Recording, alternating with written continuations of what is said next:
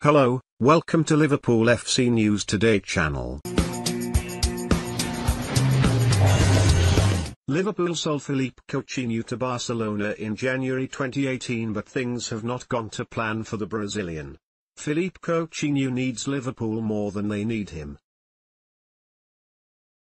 That's the verdict of former Reds striker Neil Mellor who believes his old side deserve praise for their stance on a transfer that would bring the attacking midfielder back to Merseyside, a place where he was adored and cherished by the club's supporters. That's because the European champions no longer feel like a team in need of additional quality to compete for the biggest prizes.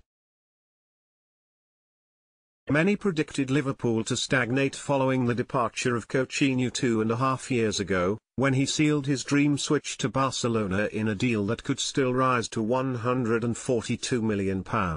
Yet the Anfield hierarchy decided to invest their money wisely, making Virgil van Dijk the world's most expensive defender. His arrival has been a game-changer for the Reds, with their defensive issues now a thing of the past. Now Coutinho will spend the summer looking for a lifeline as he looks to get his career back on track. According to Mellor though, Liverpool won't be pulling out all the stops to sign him. Liverpool haven't missed Coutinho anywhere near as much as they expected to, which is a huge credit to the squad that was left behind, he told Genting Bet. It says everything about where Liverpool are at that he's willing to come back and would walk away from Barcelona where he's had a difficult time. It's a credit to the group that he wants to come back and whilst he is an excellent player, he probably wants Liverpool more than they need him at the minute which says everything. Coutinho has spent the season on loan at Bayern Munich, where he has struggled to make an impression. The Bundesliga champions have the option to sign Coutinho permanently for a fee of £109 million at the end of the season. It soon became clear that Bayern would not be playing that figure and will instead prioritise the signing of Leroy Sane. Barcelona are willing to reduce their asking price for Coutinho though, to around the £70 million mark.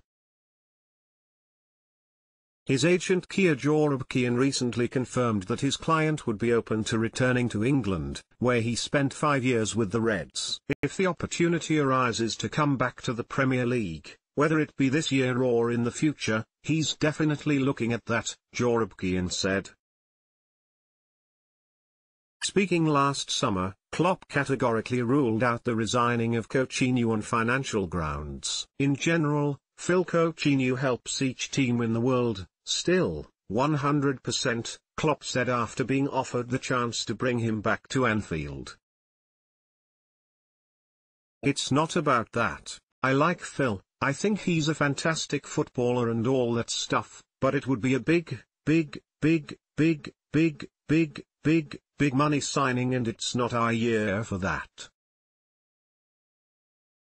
It's just not possible.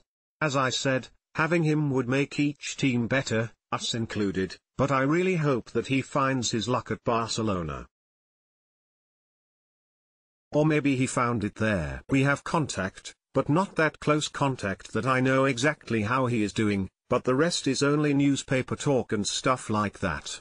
If everything was true what newspapers write about me, wow. If it's similar to what they write about me, I would say he's completely happy at Barcelona and wants to sign a new six-year contract or whatever.